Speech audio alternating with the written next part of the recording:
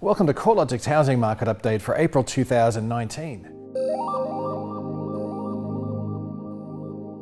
This month, we're covering off on housing market trends through to the end of March, which shows a moderation in the rate of value decline, but a broadening in the geographic scope of weaker conditions. Although the CoreLogic National Hedonic Index series trended lower in March, the actual rate of decline has been easing over the past three months. National dwelling values are down 0.6% in March, which was the smallest of the month-on-month declines since values fell by half a percent back in October last year. While the pace of falls has slowed in March, the scope of the downturn has become more geographically widespread. Dwelling values were down across six of the eight capital cities over the month, with Canberra values holding firm, while Hobart values were 0.6% higher. Outside of the capital cities, most of the rest of state regions also recorded a fall in values. The exceptions were regional Tasmania, where values were half a percent higher, and regional South Australia, where values were up by three tenths of a percent. The quarterly trend in dwelling values is showing a similar pattern, with six of the eight capital cities recording a fall in values over the March quarter, led by Darwin, which was down by 3.9%, followed by Melbourne, where the market was down by 3.4%, and Sydney, which recorded a 3.2% drop in values. National dwelling values have been trending lower for 17 months and have fallen by a cumulative 7.4% since peaking back in October 2017. Despite the broad-based weakness, the national index remains 15.9% higher relative to five years ago, highlighting that most property owners remain in a strong equity position. Markets where values peaked much earlier have shown a much more substantial downturn.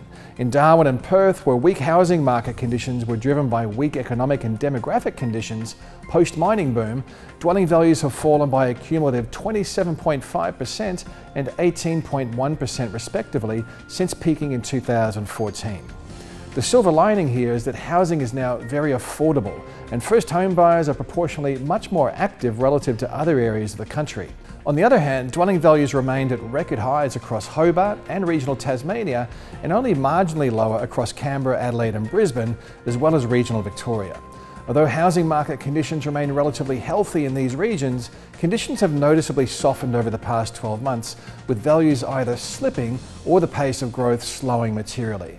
In Sydney, the monthly rate of decline eased a little in March. However, with values down by 0.9% over the month, it's clear that conditions remain weak across Australia's largest housing market.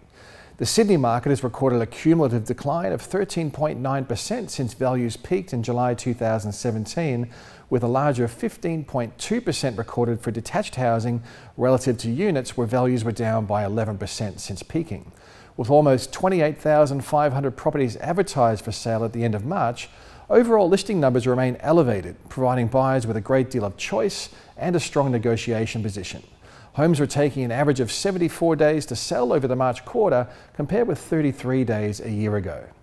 Overall, the housing market has recently shown some tentative signs that the downturn in dwelling values is losing some steam. Although this is a positive development, the outlook for the housing market will continue to be affected by uncertainty related to the federal election, to lending policies, and more broadly to domestic economic conditions. Federal elections generally cause some uncertainty, which is likely amplified more so this time around considering the potential for a change of government, which will also involve significant changes to taxation policies related to investment. No doubt some prospective buyers and sellers are delaying their housing decisions until after the election. However, there's no guarantee that certainty will improve post-election, considering the impact of a wind back to negative gearing and a halving of the capital gains tax concession is largely unknown. It seems a reasonable assumption that removing an incentive from the marketplace would result in some downwards pressure on activity and prices for a period of time. If elected, the opposition have flagged that changes to the capital gains tax discount and negative gearing would take effect from January 2020. Another key factor in relation to the housing market will be credit availability. CoreLogic data tracking the number of housing valuation events, which provides a timely proxy for mortgage activity, has remained around 14% below activity from a year ago. A similar trend is confirmed within the less timely ABS housing finance data, which continued to show a reduction in both investor and owner-occupier lending through to the end of January.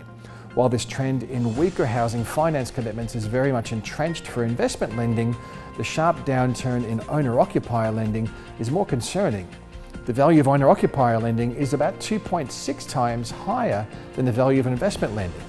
So the substantial drop in owner-occupier mortgage commitments perhaps explains why the housing downturn is becoming more widespread.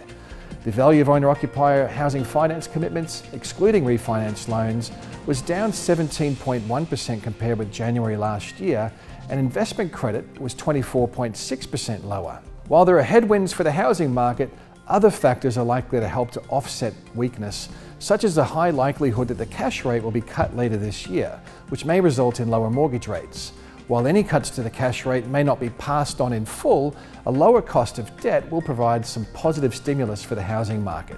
Arguably, the stimulus won't be as effective as previous interest rate cuts due to the fact that higher serviceability buffers applied to borrowers, whereby lenders are still required to assess serviceability at a mortgage rate of at least 7%, despite mortgage rates which are now available around the 4% mark or even lower. While falling home values are a negative for homeowners, improved housing affordability is the silver lining to this downturn. As dwelling prices trend lower or level out, household incomes are edging higher and mortgage rates remain around the lowest level since the 1960s. First home buyers are clearly taking advantage of the improved levels of affordability and less competition in the market. With the federal budget handed down this month, the federal election to be held next month, and the likelihood of lower interest rates later this year, there's a lot happening that could affect the housing dynamic. If you'd like to stay up to date on all the news and the latest housing market research, make sure you check out our website at www.corelogic.com.au.